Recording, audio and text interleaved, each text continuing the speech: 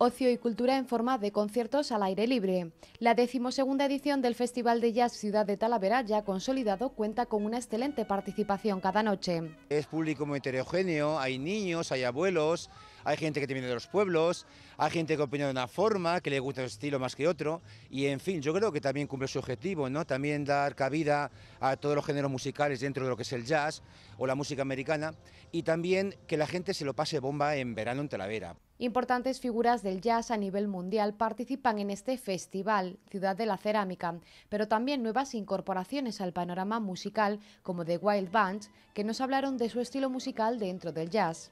A mí me gusta llamarle música global, porque son temas originales la mayoría, entonces no tiene por qué ser definido con Definir para mí significa negar todo lo demás. La Plaza del Pan se convierte en un escenario de lujo para escuchar buena música, cultura en la calle para que la ciudadanía pueda disfrutar en un entorno diferente. Podemos ver dentro de este espacio pues la gente que viene a escuchar música, la gente que viene a interactuar, a pasear, a ver lo que ocurre. Es un proyecto, la verdad, que no ha tocado techo, es un proyecto joven, seguimos creciendo y, como te decía al principio, muy demandado por la ciudadanía. Buen ambiente y excelente música. El Festival de Jazz es sin duda la alternativa ideal para ocupar las calurosas noches de verano.